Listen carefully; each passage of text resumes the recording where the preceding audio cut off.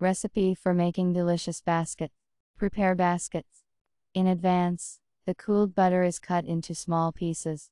Sift the flour with a slide on the work surface. Add butter and rub the hands to the state of breadcrumbs.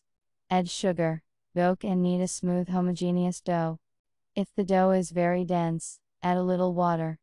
Form a ball of dough, wrap in plastic wrap, and put in the refrigerator for 30 minutes. Roll out the cooled dough into a thin layer, and cut out 8 circles with a diameter of 1 cm larger than the diameter of the molds used.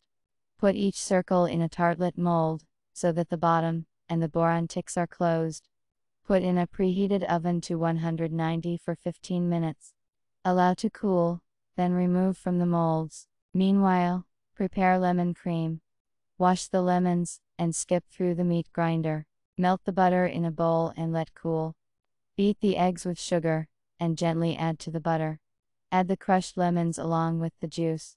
Put the mixture in a water bath and cook, whisking with a whisk, until the cream thickens 5-7 minutes. Let cool to room temperature, then refrigerate for 20 minutes. Defrost the cherries at room temperature and dry them. Chocolate is broken into pieces and melted in a water bath. Add sour cream to lemon cream. Beat with a whisk. Put a few cherries for decoration. Put the remaining ones in baskets. Put the cream on top. Pour the baskets with chocolate. Decorate with cherries. Before serving, put in the refrigerator.